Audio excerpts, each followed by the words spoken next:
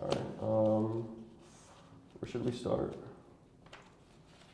Um, All right. When did you uh, when did you start drawing? when did I start drawing? Yeah. How'd you get into it? I've always been into it. I remember tracing um, uh, comic strips, Peanuts, Schulz, that kind of stuff, second grade.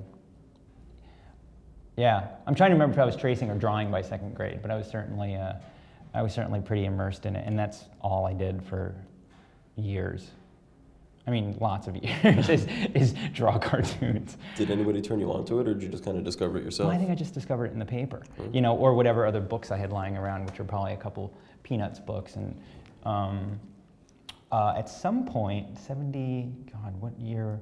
74, eight, somewhere around when I was eight years old, I guess that would also put me in second grade or something. Mhm. There, I, I at, at the elementary school book fair, I bought myself a book called the the Peanuts or the Char- the Charlie Brown got big book of questions and answers or something like that. And it basically, it was like like telling you things like uh, when you um, uh, when you burn yourself on a hot stove, the signal doesn't go all the way to your brain. It just goes to your spine and then tells you to drop the damn thing because it's really hot, and then just has a picture of Charlie Brown going ah like that. um, so it was good for elementary school. But in it, in, and I still have this book. In the, the inside cover, I signed it to myself. I wrote to Tom Hart from Tom Hart.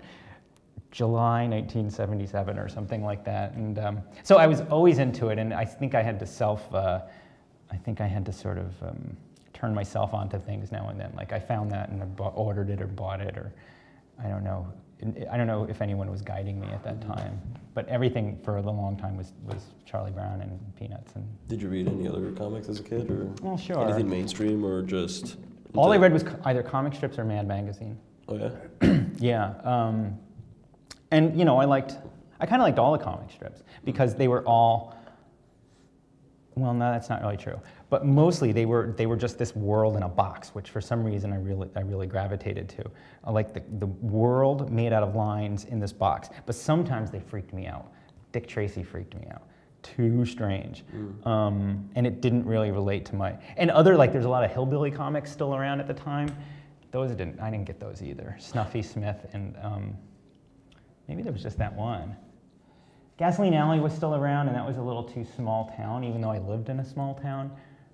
I think, I think even then the aesthetics were still like weird 1930s aesthetics or 40s maybe, and Gasoline Alley and Snuffy Smith and were these, and even Dick Tracy maybe to some degree, they were still running on this sort of momentum they had established very early, um, decades earlier, and, uh, and I don't know, those creeped me out. But in general, I liked all the comic, all the comic strips I could find, but I loved Peanuts. Um, great. Yeah, and I and I totally loved Mad Magazine, and I you know sort of had my favorite artists, but I never read comic books of any kind except at a friend's house. Like he had a stack of Richie Rich next to the bathroom, next to the toilet, like Richie Rich and maybe the occasional like um, hot stuff or something. So I'd read those in his bathroom, but mostly I was all into comic strips. It's a long answer for a simple No, question, great. Isn't it? fine. Um, what kind of comics do you read now? Do you are you into a lot of online comics, or do you like more under the radar kind of independent works? Yeah, well, I think I've gotten to that point where I see so many comics that that um, I don't seek them out as much as I as I could, and what I wound up reading is things that have already been recommended. You know, if if the sort of word amongst my peers or something is, oh, you should check out this book, I'll check it out. Um, uh, I just because I'm I read so many comics, I read them. You know, I read so much student work. I read, um, and I'm constantly trying to trying to further my sort of sense of history too. So I'm always going back and reading uh, things I haven't read in the past, which might be um, might be old Popeye strips, which I haven't even come close to finishing the 10 year 10 years of that. Um, and uh, you know, there's always some some story to to go back or try and translate some French thing or something. Um, and but online, I don't read a lot online. I sort of hate it. I know I Why shouldn't. I know I shouldn't. It's why is that? Yeah.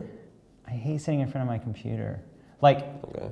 I, I, I spend a lot of time drawing or writing, and uh, and then on the computer I spend some time emailing, and then maybe.